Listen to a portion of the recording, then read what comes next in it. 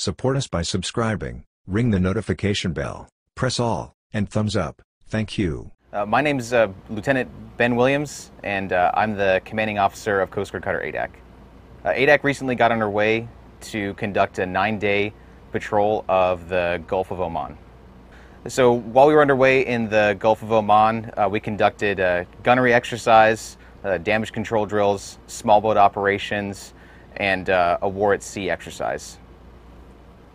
Conducted uh, steaming operations and other exercises with uh, three different uh, Navy patrol crafts, uh, two other Coast Guard patrol boats, and uh, one Navy cruiser, the USS Philippine Sea.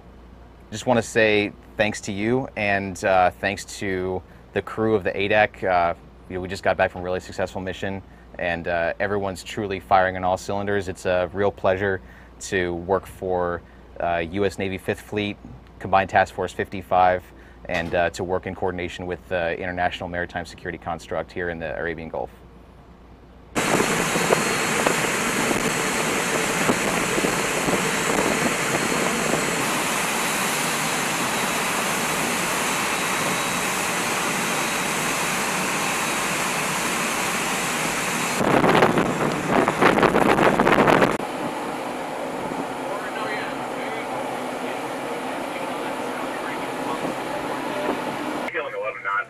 that good, or you want me to knock on head?